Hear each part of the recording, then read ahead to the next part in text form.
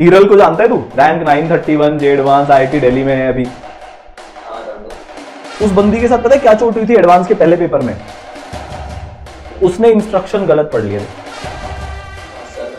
जो आंसर दो डेसिमल तक लिखने थे, वो छह छह डेसिमल तक लिख के आई या उल्टा करा उसने, जो भी है मेरे को एग्जैक्टली पता नहीं है 29 नंबर एडवांस के पेपर में, पहले पेपर में उसकी गलत हो गया और उसको दोनों पेपर के गैप में किसी से पता लग गया।